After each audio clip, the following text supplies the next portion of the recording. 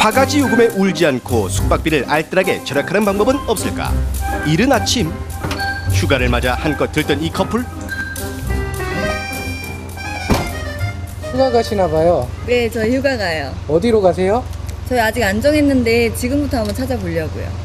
오늘 가는데 오늘 알아본다 8월 극성수기에 꿈도 못 꿀 소리 그런데 다짜고짜 휴대폰을 뒤적거리는 커플 아하 요즘 같은 휴가철에 유용하다는 타임 커머스 당일 땡처리 된 상품을 많게는 50% 이상까지 할인 숙소는 물론 각종 공연과 외식까지 할인되는 소셜 커머스라고 괜찮네요. 저희 단가 50% 이상 할인된 가격에 예약을 했어요. 근데 성수기에 어디서 이렇게 예약을 할 수 있겠어요?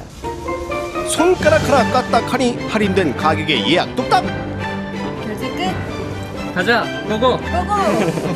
아, 좋겠어요. 막바지 여름 부담 줄인 꿀팁으로 즐거운 휴가 보내세요.